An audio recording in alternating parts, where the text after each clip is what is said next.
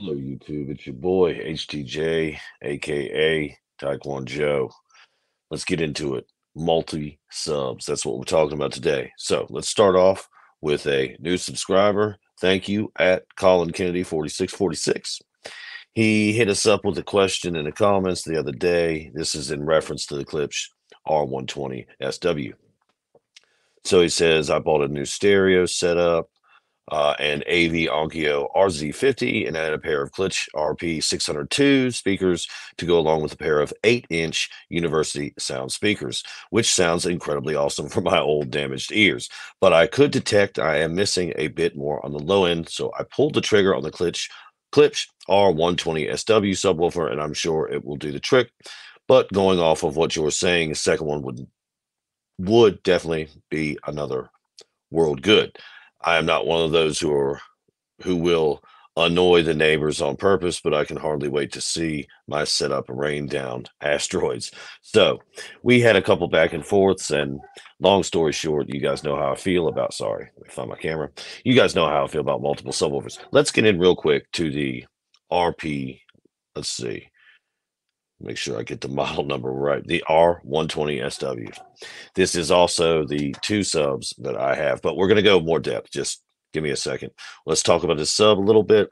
Okay, frequency response. We know how Klipsch is. You can take minus, uh, or plus three, three hertz more than likely. So they say this will go 29 hertz to 120 hertz, which 29 hertz, I don't know.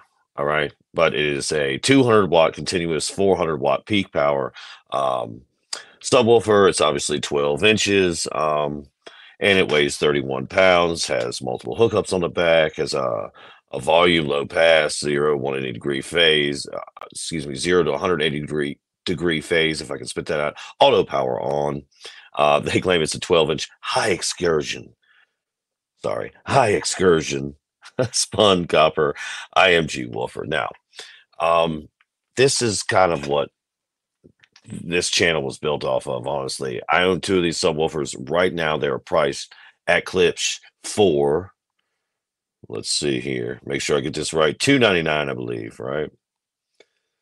Yeah, they're on sale. Usually five hundred dollars, two ninety nine each. Um, forty percent off. So I bought both of my subs at separate times. Of course, this is uh, in previous videos, but to catch up, separate times, both five hundred dollars, but um, got them on sale for two fifty each time. and bought them, you know, three four months apart. It was some time apart, but sure enough, uh, a sale came up somewhere. So anyway, I'm always about somebody or anybody having a theater experience in their own home on a budget like, let's just be honest. I don't think this is exclusive to people with just bags of money laying around. And no shot to them. Good on you if you have the money to sink 20, 30, 40, 100K into your home theater. Good on you.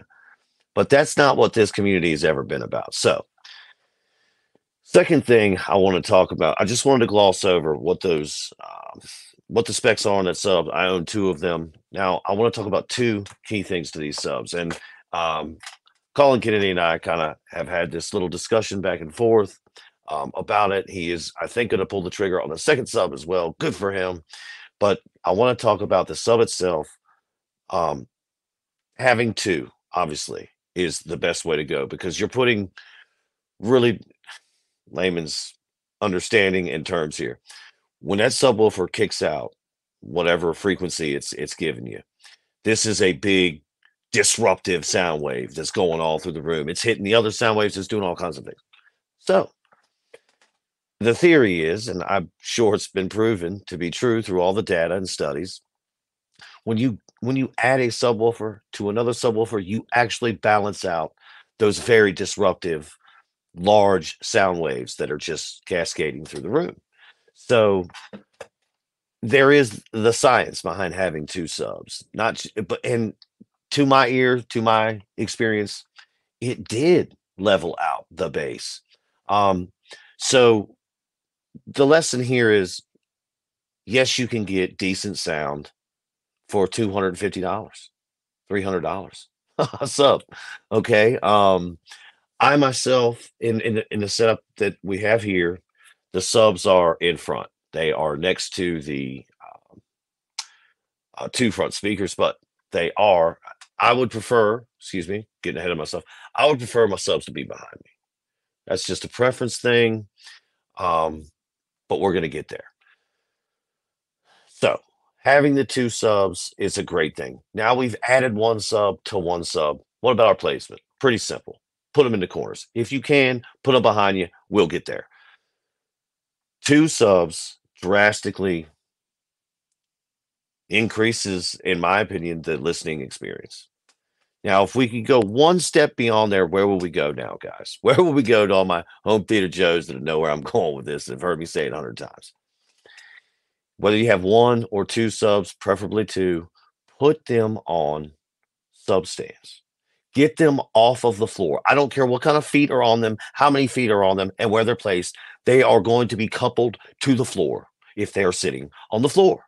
So, my recommendation not only is the multiple subs, but let's get those subs off the floor on some sub stands. And that again will increase what I would think, or to me, is the um the the listening experience. I guess in in my terms, I would say the bass came uh, from off of the floor into the room, and um, wouldn't have it any other way. Now, I did say about putting bass uh, or subwoofers behind you. That's my preferred location. I was not willing to do that here because this is concrete slab and I can't drill under and get it there. So anyway, um, how we gonna? Oh man, it's gonna take a long cable. Blah blah blah. No, it's not, man. I'm gonna tell you what your best option is. Sorry, for your subwoofer cable. Listen, and I can go more in depth in this if you guys want. Just let me know in the comments section, and I will uh, make a I guess a tutorial on how to make your own subcable woofer, uh, subwoofer cables. Excuse me. Um, the goal is here is to be able to transmit these these heavy signals through wire. So this is the RG6 um, uh, coaxial cable wire. So if you have yourself, um, and obviously it comes with these connectors here, but that won't work for, work for your subwoofer. So you get your little RG6 connector. All right. You buy yourself some uh, different plugs that will, uh, different male plugs that will plug right into the subwoofer. And now you can transmit this, this, uh, all this information, this low end information flawlessly to your subwoofer. And if you're making your own cable, this is just 25 feet here, but you know what I did in the previous theater was drill a hole through the floor, run the cable underneath um, the home and drill, you know, obviously through another hole in the back of the room to put those subwoofers behind us. And oh, it's just a it's just an amazing experience when the subwoofers are behind you. That's all I can say. I love it. Doesn't even have to be close field. I'm not even talking subwoofers that are like right behind your seat. Um, but for me, having the subwoofers behind you is is preferred, as I've said. So uh, again, you can you can spend a bunch of money going and buying this high tech subwoofer cable, whatever, or you can make it yourself. Okay, um, because you, I'm sure you guys know you you don't want to you can't use like a 12 gauge, 14 gauge wire to, but you that's not doing you any good. No, no, no. You need to send that. I, I've already said it. I'm rambling, but these are just the things I wanted to point out, talk about real quick because we have a new subscriber. We've been talking about this in the uh, comment section. I thought, what what a time. I mean, might as well bring it up now. Might as well remind the community where I stand on subwoofers and uh, the best way to set them up. So, like I said, if you guys want to see a tutorial on how to make that cable um, and do those runs, let me know. We could probably work something out. Other than that, uh, I do appreciate y'all uh, listening and let's hear your experience. I want to know what what do you guys have in your theater? One sub, multi subs, two or more? Do you have them on sub stands? and what cable are you running to your um, to your subs from your processor AV whatever you're using so uh, anyway that'll do it uh, I think for this one uh, if you've gotten thus far thank you for listening listening appreciate it as always and if you have any comments good, bad, or different, go ahead and put them right down there below. Uh, yeah, always remember like and subscribe. I guess that'll do us. Yeah. Boom. Boom.